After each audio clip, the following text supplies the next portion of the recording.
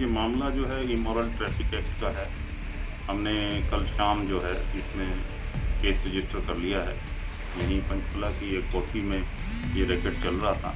जी। और immoral traffic act की भी सेक्शंस इसमें अफेक्ट हो रही हैं और फॉरनर्स एक्ट की भी जो है इसमें अभी और ये केस जो है फाइव फाइव फोर अभी इसकी इन्वेस्टिगेशन बहुत ही प्राइम स्टेज पे है।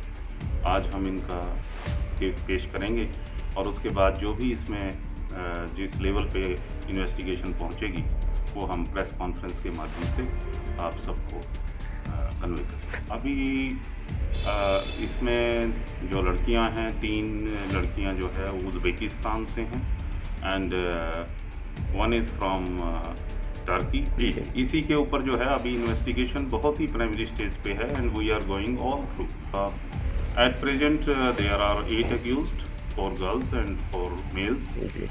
Uh,